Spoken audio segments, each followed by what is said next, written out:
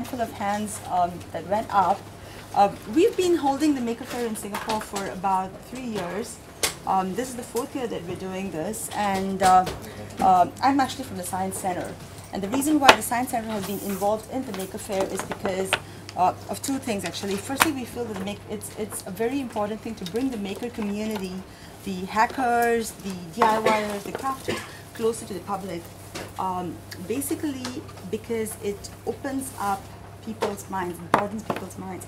Um, in Singapore, I don't know if you would agree with me, but we feel that people have gotten very consumeristic. They do not make, they tend to just buy things lock, stock. So uh, Maker Faire, in, in, in essence, is an effort to change that.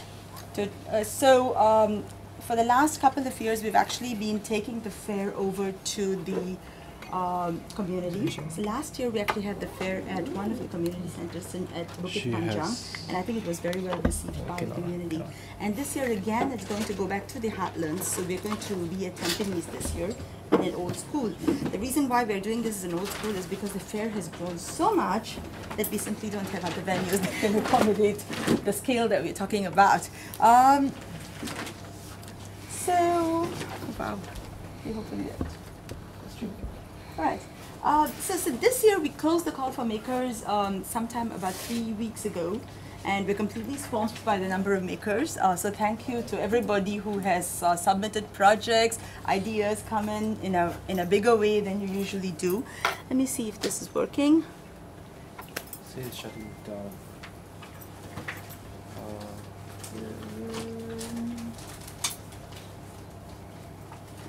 Maybe that's some kind of time. Ah, right, Okay, all right. Um, so um, I, I was just sort of doing a quick plot of, of uh, this year's Maker Faire. This thing I had a little bit of a pie chart going on there. So we've got about um, 200 project showcases this year, which is almost double what we had last year. Last year we had about 110. So um, and these are just project booths, mind you. And in addition to that, we've got about 50 workshops that we're organizing over the two days. There is actually a website, it's called makerfairesingapore.com, so you can just go over there and take a look. We're still updating it. We're trying to update it as fast as we can, so at least people have a month before they can, so that they can sort of decide what they want to do when they come for the fair itself. Um, so the, the distribution is roughly around 32% crafters, and the rest distributed between engineering, tech, 3D printing, etc., etc. And roughly about 18% are totally weird stuff which we can't really put in one place or another. Things like, uh, I don't know if you all know Saad. Uh, Saad has come up with this butt-activated selfie booth. I, I think it's supposed to, it's, it's something that takes a photo at the touch of a butt. They've got people who hack bicycles to make them into lawnmowers and, and weird things like that. So there, so as I was saying, about 18% of people are like that and we don't really know where to put them. So I guess you can, you can make a decision when you come to the fair. Um, so I have a bunch of favorites which are kind of nice. Um, in, in terms of pictures.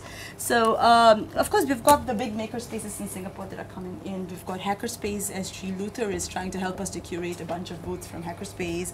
Um, we've got uh, the One Maker group, which is over at the National Design Center. Yay. Okay, this is my second last slide. So, uh, these are the bike guys. Uh, so these are they're, actually supposedly bringing 50 bikes that they have hacked to make weird and wacky things. So that'd be kind of interesting. Um, I don't you know this guy. He's uh, Takasu. He is a Japanese um, uh, geek who works for a company called Team Lab, and he is bringing in a group of makers from Japan. It's a, it's a group called Nicotech, and Nicotech is is um, is a group that tries to do technologies that make you smile. Nico apparently means smile in Japanese. Um, I saw their booth when they were at Taipei Maker Faire, which I visited last week, and they had the very quirky exhibit, which um, is okay. I don't know how many of you know this. You know, if you have the um, the biscuits, the panda biscuits that kids like to eat, uh, apparently, if you shake them really hard and really fast, they become a ball of chocolate. Apparently, I do not know. And, and obviously, you'll have to shake them really hard and really fast, and that's really tiring. So, what uh, they had developed was this little electronic device that shakes the thing really hard and really fast 5,000 times. Why? I have no idea, but it's, it's just the kind of thing the Nicotech guys do. So, yeah, that's, that's something really interesting. And uh, we've got the yarn bombers people. This is what they did for us last year. So this year, I think they're doing something even more cooler. So the, yarn bombers are people who knit, and then they just knit and cover stuff like pillars and benches with things that are knitted. Um, so it's just it's just weird, quirky, wacky things that, that happen at Maker Faire.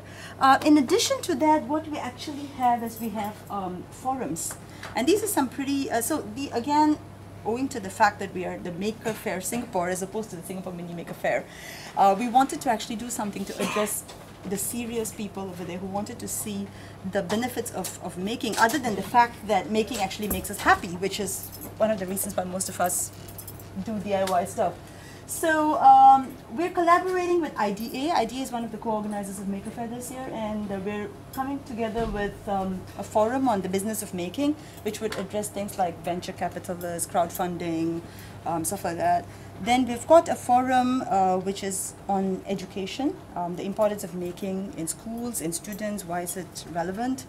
Um, and then we've got one on social change. These are some of our speakers. We are finalizing. We'll be putting up synopses and stuff shortly um. Uh, the other thing that we are doing this year, which is kind of special to me, especially, is that we're having a book that we're launching, which is focused on families who make together.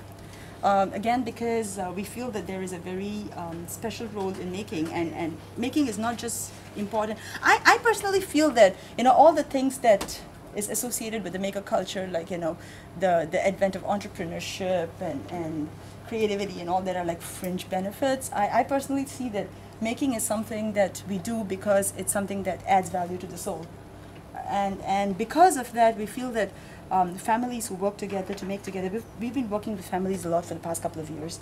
Um, they are um, they, they have something special going on. So we have about 15 families altogether who have contributed to the book. We've done interviews. Shiny and Chinmay are one of the people. Where's Chinmay? Ah, he's there. All right. Yeah. The, their chapter. I was just editing their chapter before I walked in here. So, so yeah. So that's something nice to watch out for. So how can you be involved? I, I'm, I'm not. I'm going to stop here in terms of slides. Um, how can we involve many things? We are looking for volunteers, and volunteers would be involved in many things, including taking care of booths, helping out in workshops, facilitating activities. We'll be teaching little kids how to do soldering, for instance, and, and definitely we would need help of people who know their stuff. So yes, so by all means come in as a volunteer. We can still take in booths. So if you're interested, if you have an interesting project that you would like to showcase, get in touch. I'm sure we can do something that can accommodate you. And that's about it. There is a URL over there. You can just Google Maker Faire Singapore. You'll find it, and that's it. Yeah. Any questions? Could you go to the previous first few slides? Ah, the slides. Okay, no, nothing really. This was the um, this was the, the sort of 200 project show and tells and the 50 workshops and, and the sort of the distribution of makers that, that we've got over here. That's pretty much that. That's that. Yeah. Great. Any questions? Who wants to? Who already has a booth? Wow. There you go. There you go. And uh, you have a booth. Awesome. They have a booth. Who wants to have a booth? Oops. All right. Who will go down? It's uh, in July, right? It's in July 11th and 12th. Who will go down to? Come on! I want to see more hands up. Like You if must- in Singapore, you must say it's free, then everybody Yeah. knows. Uh, yeah, and, and, and if you pre-register, you get a goodie bag. there are so many reasons to go down. So if you have a, if you're not doing a booth, go down anytime, right? Yeah, Like- go down anytime Yeah. and uh, spread the word that this is Spread happening, and, and I'm sure that it's something that people can benefit from. So do spread Bring the your word. parents, bring your kids, And bring your your auntie, uncle, bring your grandparents. make it a family thing, or bring your teachers, bring your students. Uh, so I I remember Kiruthika once wrote this in in uh, her Facebook that maker is not a skill set; it's a mindset. Yeah. So it's uh, it doesn't matter if you're curious, just come down and, and be part of the weird things. Any last questions for Kiruthika? Yeah. So the address there, 15 Tampines. So that's where the fair is. That's where the fair is. It's um, at a school. It's called the Chow Nan. It used to be called the Chow Nan Primary School. Yeah, Chinmay's Primary School. Chow Chow Nan Primary School. It's uh yeah. Well, we will be we will be sending shuttle buses down both from Tampines uh, MRT station as well as from Vivo City. So the schedule and all that will be up in, at some point of time. So yeah. Great. So uh, otherwise, go to the website. Keep in touch with Kiruthika. Drop us a line. Uh, you can leave a message on the Facebook page, and one of us will get back to you as soon as we can. So it should be okay. Yes. Yeah. Thank you so Right. much, Kiruthika. Right. Thanks. you.